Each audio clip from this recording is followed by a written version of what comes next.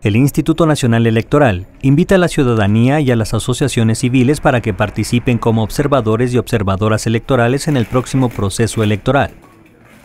De acuerdo con los registros del INE, hasta el momento se han recibido un total de 900 solicitudes, de las cuales han sido aprobadas 278. La convocatoria estará abierta hasta el 31 de mayo, por lo cual el presidente de la Comisión de Capacitación y Organización Electoral, Marco Antonio Baños, exhortó a la ciudadanía a participar en las próximas elecciones. Posteriormente a la aprobación de las solicitudes, las personas serán capacitadas por el mismo organismo que fungirán como observadores y observadoras en los consejos locales y distritales. Notimex.